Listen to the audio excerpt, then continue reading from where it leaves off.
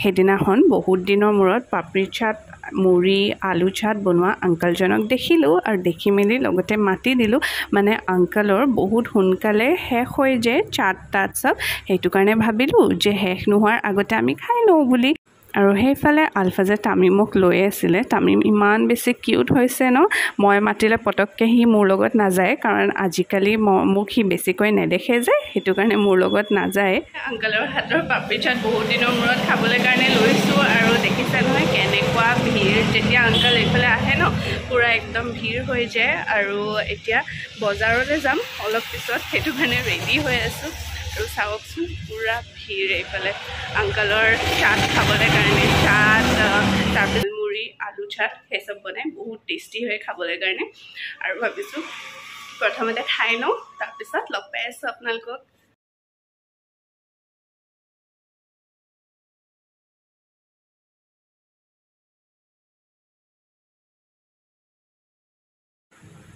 এইফালে মই আম্মা আৰু এলিজ আমি তিনিজনী জুডিঅ'লৈ আহিছোঁ। প্ৰথমতে ভাবিলোঁ জুডিঅ'ত সোমাই লওঁ বুলি তাৰপিছত বেলেগত যাম। এলিছৰ জুডিঅ'ত কিবা ল'বলগীয়া আছিলে আৰু প্ৰথমতে আম্মা আহিব বিচৰা নাছিলে কিন্তু মই আৰু এলিছে মিলি লৈ আহিলোঁ। কাৰণ চাবচোন অলপ বাহিৰত ঘূৰা ফুৰা কৰিলে মনটোও ভাল লাগে ন আৰু ঘৰৰ ভিতৰত কিমাননো সোমাই থাকিব। আৰু এইফালে এতিয়া এলিছে তাইৰ কাৰণে বস্তু চাই আছে। আৰু তাৰপিছত আমি গ'লোঁ বজাৰলৈ গ'লোঁ মেইন টাউনলৈ গ'লোঁ। আম্মা আৰু এলিছ আগত গৈ আছে এখন ৰিক্সাত আৰু মই বেলেগ এখন ৰিক্সাত গৈ আছোঁ কাৰণ তিনিজনী আমি একেখন ৰিক্সাত নহ'ব ন সেইটো কাৰণে বেলেগে বেলেগে গৈ আছোঁ। আৰু এটা কথা আপোনালোকক মই এতিয়ালৈকে স্বাগতমটো জনোৱাই নাই নহয়।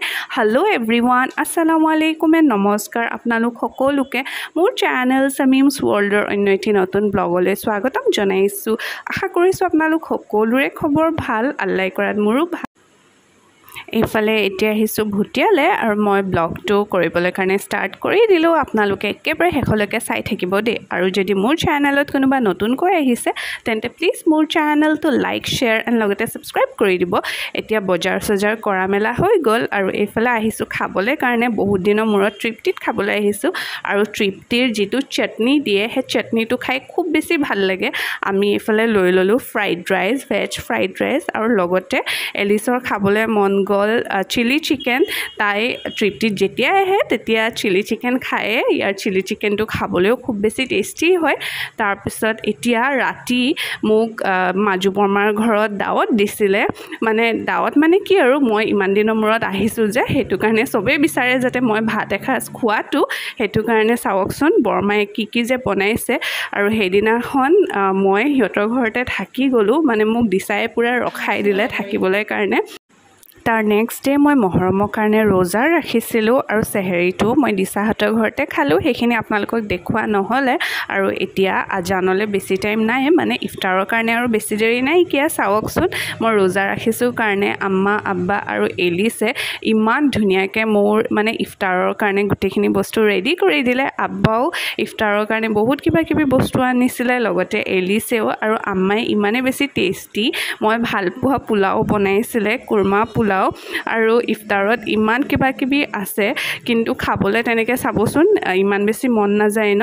আৰু এইফালে এতিয়া ভাবিছোঁ মই পানীখিনি উলিয়াই লওঁ বুলি যিহেতু আম্মাই মোক গোটেইখিনিয়ে মানে উলিয়াই মেলি দিলে। আৰু এইফালে এতিয়া মই বহি মেলি তচবি পঢ়িব আছে তাৰপিছত দোৱা কৰিম আৰু তাৰপিছত আৰু ইফতাৰ কৰিম আৰু। মহৰমৰ কাৰণে দুটা ৰোজা ৰাখিব লাগে বুলি কয় মই দুটাই ৰোজা ৰাখিছিলোঁ বাকী যাৰ যেনেকৈ সুবিধা হয় তেওঁলোকে তেনেকৈ ৰোজা ৰাখি মহৰমৰ এই দিনকেইটাত কয় যে একো শুভ কাম কৰিব নালাগে। যিহেতু এই টাইমখিনি বহুত বেছি দুখৰ টাইম থাকে আৰু আমি যিমান পাৰোঁ মানে আল্লাহৰ ওচৰত ইবাদত কৰিব লাগে আৰু লগতে দোৱা কৰিব লাগে।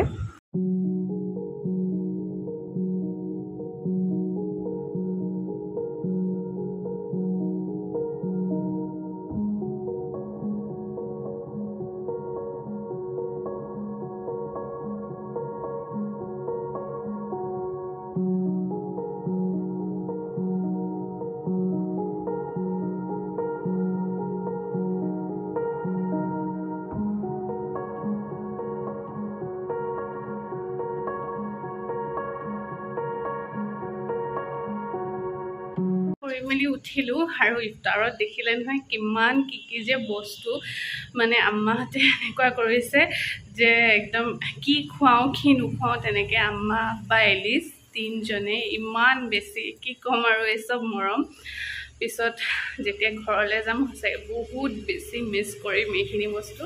আৰু এইফালে আব্বাই লগতে পাণো আনি দিলে মিঠা পাণ মই কেতিয়াবা কেতিয়াবা মিঠা পাণ খাওঁ কাৰণে মানে কেতিয়াবা খাবলৈ মন যায় ন। আৰু ইয়াত যিকেইদিন আছোঁ গোটেই কেইদিন আব্বাই মোৰ কাৰণে মিঠা পাণ আনি দিছে। আৰু এইফালে ইয়াত তিনিখন মিঠা পাণ আছে বেলেগ বেলেগ টাইপৰ অলপ। আপোনালোকৰ লগত কথা পাতি থাকোঁতেই তাৰ মাজতে ট্ৰেইনখন আহি গ'ল সেইটো কাৰণে ভইচ অভাৰ দিবলগীয়া হ'ল।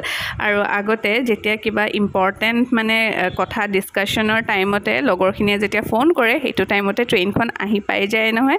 আৰু সকলো বহুত বেছি ফ্ৰাষ্ট্ৰেটেড হৈ যায় কিন্তু আমাৰতো হেবিট হৈ গ'ল যিহেতু হাইৱে ওচৰতে ঘৰ মানে ট্ৰেইনৰ মাতটো নুশুনিলে ভালো নালাগে। যেতিয়া মই ঘৰলৈ যাওঁ তেতিয়া এই ট্ৰেইনৰ মাতটো যেতিয়া নুশুনো বহুত বেছি মিছ কৰোঁ মই আৰু ব্লগটো মই ইমানতে শেষ কৰিছোঁ আশা কৰিছোঁ আপোনালোকে চাই ভাল পাব বুলি